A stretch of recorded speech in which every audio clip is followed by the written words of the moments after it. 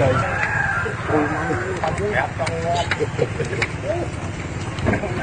Quỳnh tay anh cho thẳng đẹp Đẹp ấy, thích thử cái đâu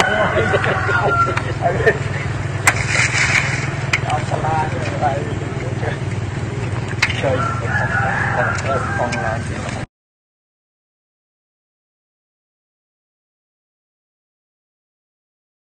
ដុតកំទេចរថយន្តដែលជាមធ្យោបាយដឹកជញ្ជូនបទល្មើសព្រៃឈើយោងតាមបទបញ្ជាលោកនាយឧត្តមស្នេហ៍សៅសុខាអគ្គមេបញ្ជាការរោគនៃកងយុទ្ធពលខេមរៈភូមិន្ទមេបញ្ជាការកងរាជអាវុធហត្ថលើផ្ទៃប្រទេសនារសៀលថ្ងៃទី6ខែធ្នូឆ្នាំ2022នៅភូមិភ្ញារងឃុំជ្រោយបន្ទាយស្រុកព្រែកប្រសពខេត្តក្រចេះកងរាជអាវុធហត្ថលើផ្ទៃប្រទេសដឹកនាំដោយលោកឧត្តមស្នេហ៍តូសានប៊ុនធឿន នាយសេនាធិការរងកងរាជអាវុធហត្ថលើផ្ទៃប្រទេស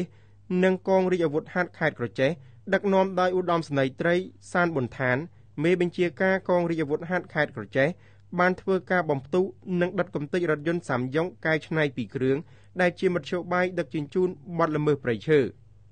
សូមបញ្ជាក់ថារថយន្តដែលកម្លាំងបានធ្វើការបំផ្ទុះនេះគឺកងកម្លាំងអាវុធហត្ថខេត្តក្រចេះសហការជាមួយកម្លាំងកងរាជអាវុធហត្ថខេត្តកំពង់ចាមបានបង្ក្រាបការពីវេលាម៉ោង11:30នាទីថ្ងៃទី1ខែវិច្ឆិកាឆ្នាំ2022ដោយរថយន្តទាំងពីរគ្រឿងនេះបានដឹកជញ្ជូនបទល្មើសព្រៃឈើនៅចំណុចភូមិឈើទើ